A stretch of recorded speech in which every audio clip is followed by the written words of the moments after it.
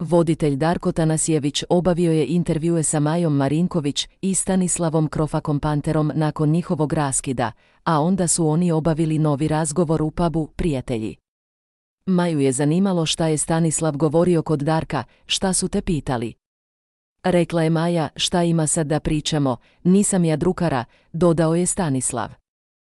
Ono što su mene pitali ja sam sve rekla kako jeste, da nijednu reč nisu održao što si rekao, da iz inata radiš neke stvari, da nijednu reč nisi održao mi oni.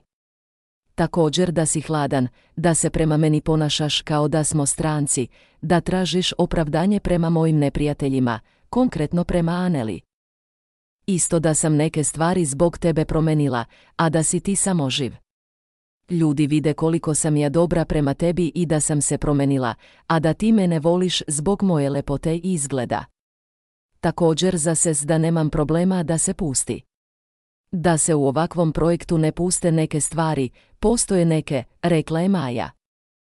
Kakav si ti lažov, dodala je Maja, ajde dalje, pričat ćeš s nekim drugim, sa mnom nećeš, rekao je Stanislav, što, šta sam ti ja uradila?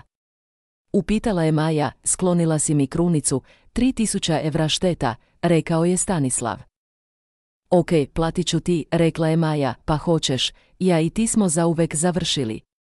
Ti si ovako korektna osoba, ali nisi za mene. Ja sa tobom nisam mogao ništa pričati ozbiljno, ja čim ti nešto kažem ti odma odeš i razglasiš svima, rekao je Stanislav, ja znam šta ti sa mnom pričaš, ali sa mnom to nećeš doživeti, samo me gledaš kao objekat, rekla je Maja.